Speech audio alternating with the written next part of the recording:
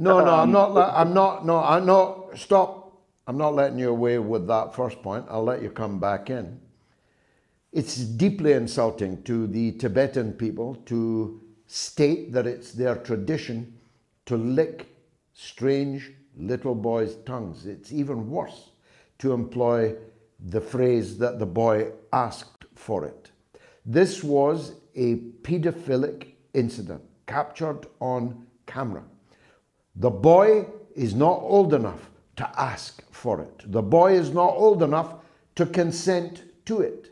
And ask for it being falsified, the Dalai Lama himself apologized for it. He apologized to the boy, he apologized to the boy's family, he apologized to the Tibetan people, he apologized to his co religionists, and now you're telling me it wasn't even true?